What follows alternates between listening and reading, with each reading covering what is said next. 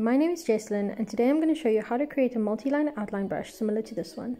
I'm going to start with a square canvas and it can be any size but I always choose to use 27 inches by 27 inches just to make sure that my canvas is as big as possible so that the quality of my brush is the best it can possibly be. Next I'm going to turn on my drawing guide, edit the drawing guide and turn the grid size all the way up so that I have a vertical and horizontal line. I'm to go grab a monoline brush and make sure that I am using pure black. If you're not sure, you can always check the value tab for 6 zeros.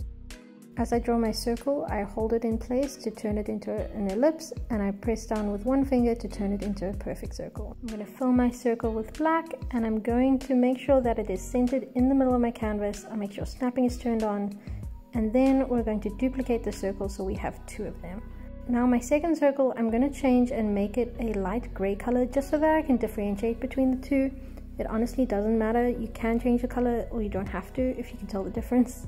And then I'm going to resize it. It doesn't matter if it's big or small, just as long as it's smaller than the original circle. So now we've got two circles, both centered in the middle of our canvas, one black and one gray.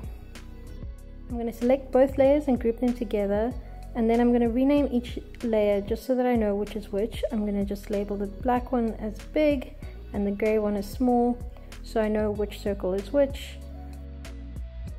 I'm going to duplicate this group so that there are four circles in total. I'm going to highlight both groups and I'm going to go ahead and click the arrow so that I can resize all four circles at once. I'm going to grab my circles and make sure they're centered again just so that they're along the vertical line. Then I'm going to take the top group of circles and move them up a bit.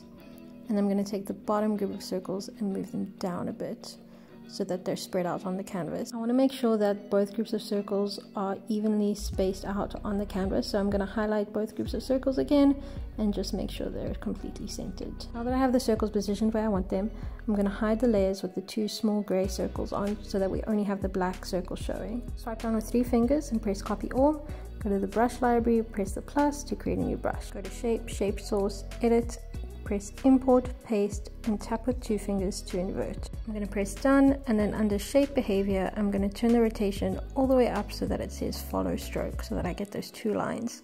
Under stroke path, I'm going to turn my streamline all the way up, and I'm going to turn spacing down to about 10%.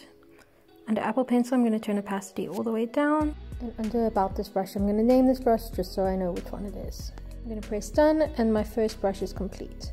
To create the second brush that I need, I'm going to hide the two black circles and I'm going to unhide the two small grey circles. I'm going to recolor these small circles so that they're pure black and not grey anymore because we need them to be black in order for the brush to work correctly. I'm going to swipe down with three fingers again and press copy and I'm going to duplicate the brush I just created and I'm going to edit it.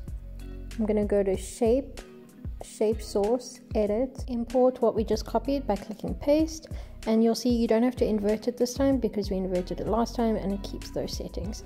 Click done and you'll see that the brush is slightly thinner. The gap between the two dots is slightly bigger so the brush looks a bit thinner and this is actually what we're going to subtract from our original brush. To do that I'm going to select the first brush we created and I'm going to swipe right on the second brush and click combine. This now means we have one brush with two brushes combined together. Make sure that the first brush we created is on top and the second brush is underneath. And then I'm going to click any of those brushes and I'm going to change the combine mode to subtract. Now I have a multi-line outline brush. Something I forgot to do when I was originally creating these brushes was disable the orient to screen function. So I'm just going to go ahead and turn that off. Press done and that's it, you have an outline brush. I've got the set of 10 outline brushes available in my Etsy store. The link to that is in the description.